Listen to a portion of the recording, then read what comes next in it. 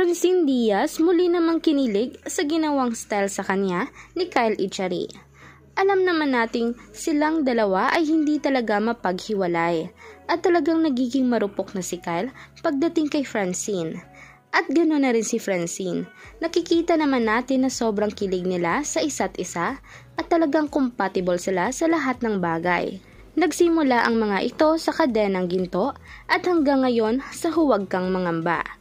Nabuo ang mismong friendship nila sa kadenang ginto at hanggang ngayon sa kanilang bagong teleserye. Kahit na nga ang setria ay talagang napapansin nila ang titig ni Francine kay Kyle na talagang umano'y nais niya rin itong maging boyfriend balang araw. At tungkol naman kay Sofia na nagngangalang Aliana Angeles ay talagang magkaibigan lamang sila.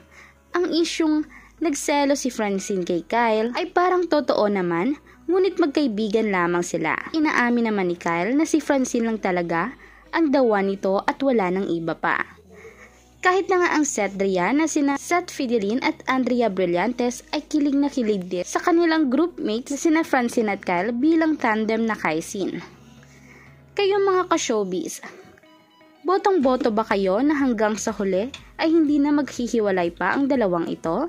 Kaya hanggang dito na lang muna ang ating official updates. Panatilihing nakasubscribe at itap ang notification bell para lagi kang updated sa ating future trending videos na ina-upload araw-araw. Salamat!